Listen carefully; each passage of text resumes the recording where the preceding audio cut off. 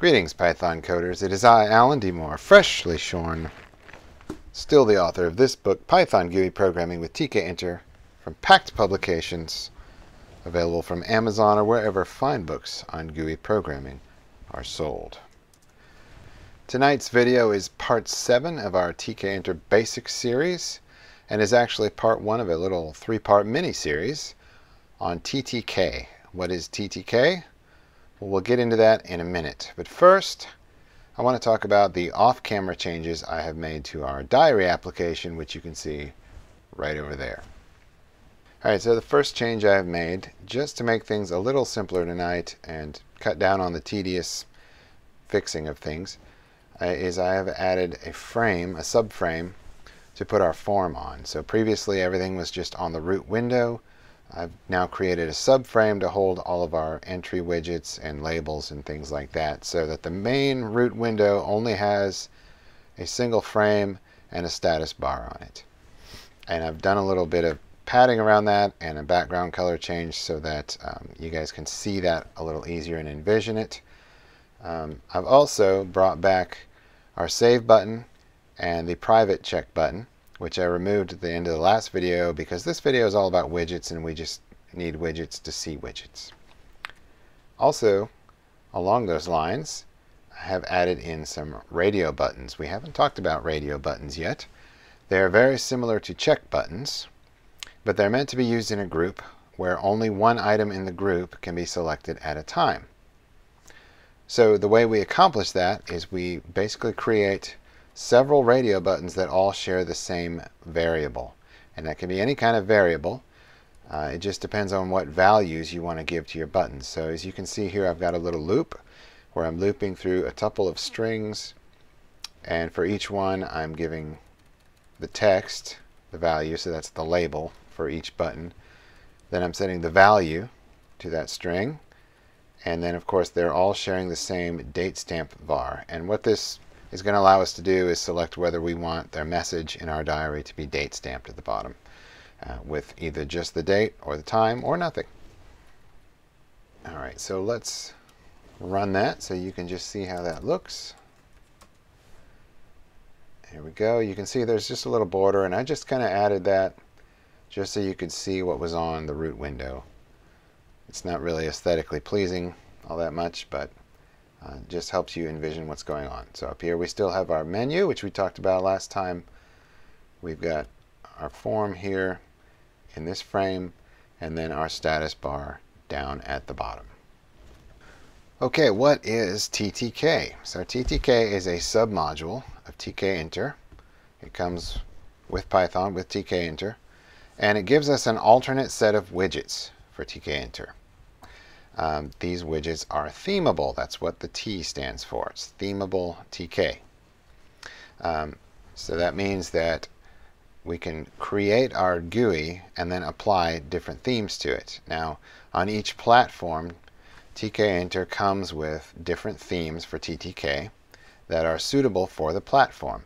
And by default, they're meant to look native to the platform. So if you are on Mac, um, TTK is going to look like the regular things you see in Mac applications. If you're on Windows, it's going to try to blend in with other applications on Windows. If you're on Linux, it's going to look something. Honestly, I don't know what they had in mind with the default Linux TTK theme. It kind of looks like Motif, which is a really old and you know crusty tool set that nobody uses anymore. Um, but it is themable, and we can we can do something about that, which we'll do in this series. Um, TTK also offers much deeper and more comprehensive styling options for your widgets, and it offers some widgets that we don't have in regular tkinter, which are very useful. So let's dig into our code and let's start applying some TTK. All right, first thing I'm going to do is I'm actually going to create a copy of our diary application um, so that we can compare the TTK version with the regular version. So I'm going to just call it diary-ttk and I'm going to open it up here Okay, so to use TTK, we have to import it, and it's a submodule just like our message box and simple dialog. So we're going to say from tkinter import TTK. And now what we can do is go through our application and wherever there is a TTK equivalent of our tkinter widget, we can just replace that with TTK. For example, our frame. We're going to set our form frame to a TTK frame. Oops. Also our subject frame, not our string vars. Our labels we'll set to TTK. Our entry, again this frame, this label, our option menu, there is a TTK option menu, our check button, our radio buttons, our label frame. There is not a TTK text widget, so you're going to have to leave that as TK. We've got a scroll bar, our button. Let's not forget our status bar. And that is all of our widgets. One last fix the option menu in TTK is slightly different than the option menu in regular tkinter. I actually need to specify a default as the third argument. So I'm going to just say categories 0. That's just the option menu, just slightly different call in TTK. So to make this easier, I'm going to go back up to the top. I'm going to change the title here to My Diary TTK. All right, now I'm going to run both. Say python diary.py and python diary.ttk.py. Go ahead and run these both, and I will pull them apart so we can compare. All right, now if you are on Windows or Mac OS, what you're going to see is a lot different than what I'm seeing here on Linux.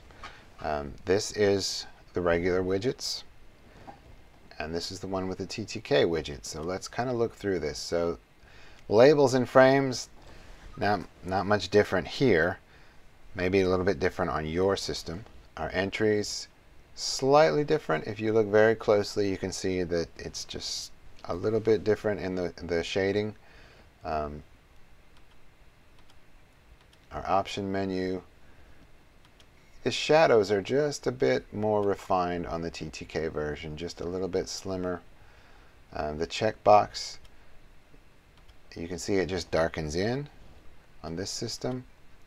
And over here, it's a check mark.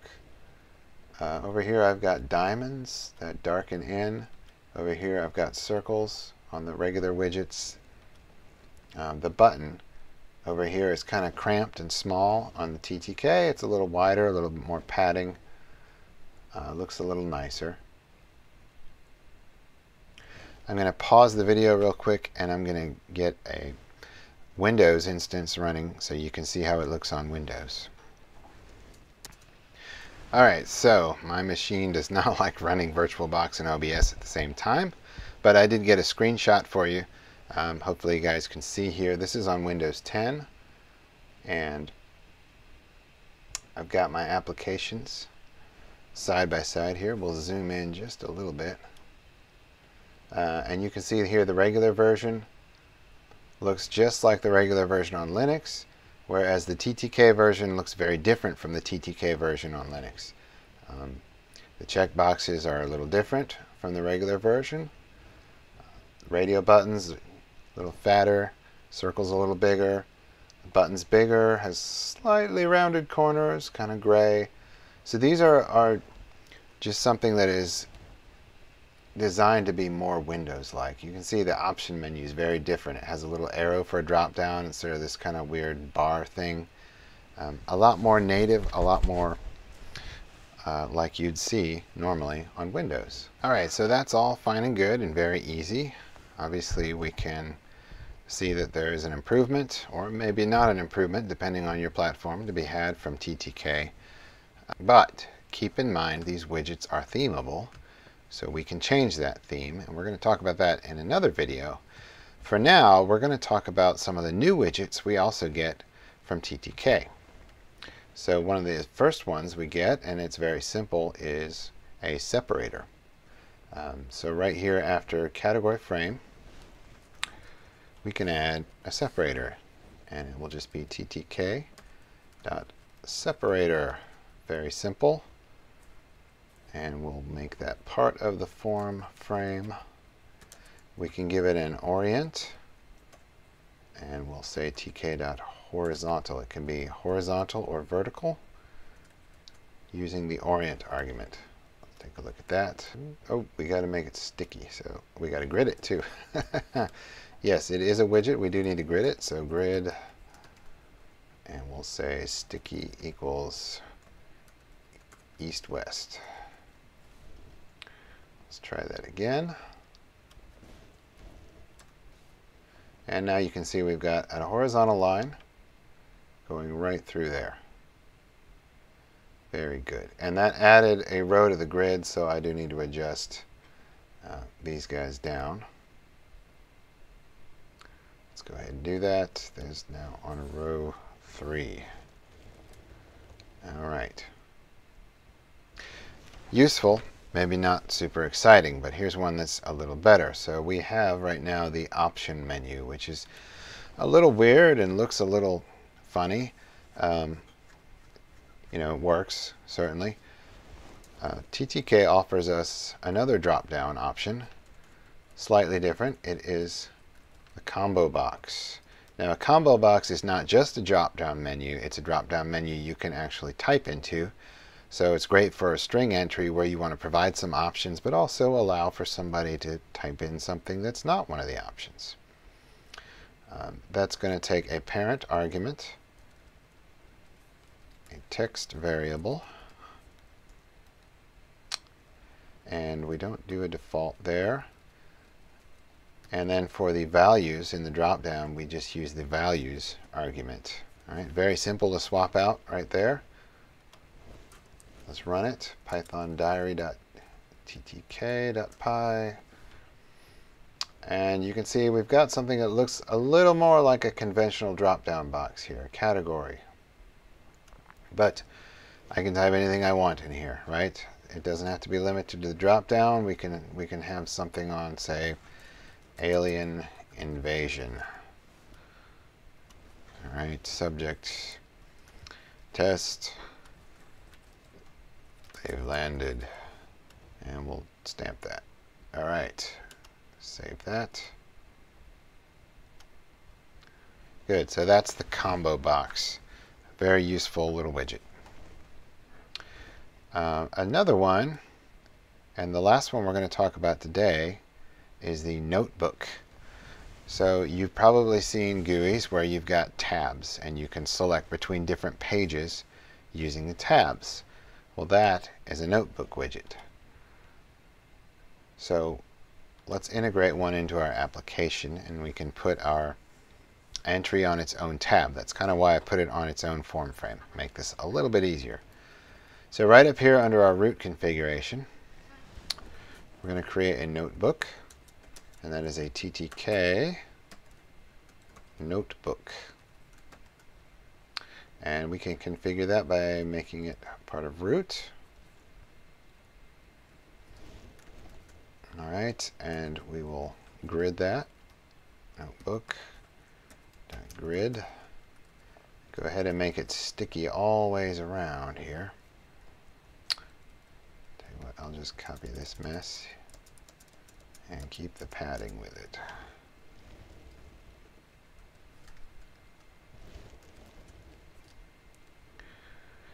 Alright, now to put our form frame on the notebook, we need to make a couple of changes. First of all, we can remove its grid call because we're not going to be gridding it. We're going to change its parent to notebook. And now to put it on the notebook, we don't use a geometry manager. We use a special function of notebook, notebook.add, and that is form frame. And we need to give that some text as a label. We'll just call it diary entry. Let's save that and we'll run it. Now what you see up here is a little tab and that tab contains this form. Of course it's not real useful if we only have one tab so let's just add another. We'll create, uh, we'll just say dummy frame equals ttk frame notebook and we'll say notebook add dummy frame text equals dummy no offense frame you're okay in my book alright here we go we have our diary entry now and if we click over here dummy we see this empty frame so that's a notebook. It's something you can use to organize a very complicated um, interface. Obviously we could have as many of those tabs as we can fit across there. I don't believe there's any practical limit to that. Uh, feel free to test that out. Notebook, it's got a method we can call called enable traversal, which I highly recommend that you call because what that does is it enables keyboard traversal of the notebook. So I can use tab and, and Alt tab and that to get around through the different notebook tabs. We can also underline one of the letters in the text. So that would be using the underline argument. We give it an index number.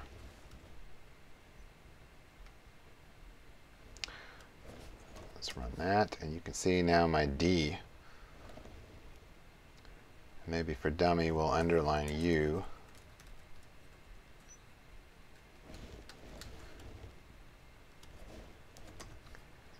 There you go. Finally, we can add a sticky value here since this is kind of like a geometry manager. Uh, if we want to stick our widget to one side of the notebook, now by default it's going to stick to all sides which seems like a sensible thing to me but if for some reason you wanted to stick it all to the right side we're going to say sticky equals east and you can see it's all sticking over here to this side of the screen. Not a great choice. Let's get rid of that actually. But it is an option should you choose to do that. Alright, that's all I've got in this video. Um, next video we're going to talk about a really cool widget in TTK called the tree view.